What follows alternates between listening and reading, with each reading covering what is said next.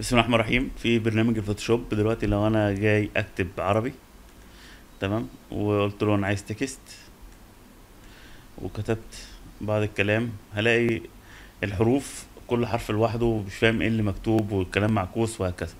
طيب ال- الموضوع ده حله إزاي؟ هاجي هنا من edit preference وأقول له type. بلاقي هنا إن ال text engine option معمول على ال East Asian أقول له لا أنا Middle Eastern وأقول له OK تمام؟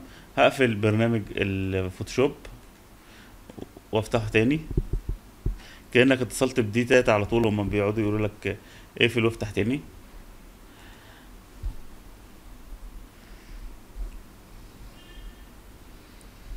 وبعد كده آه، هقول له أنا عايز ملف جديد.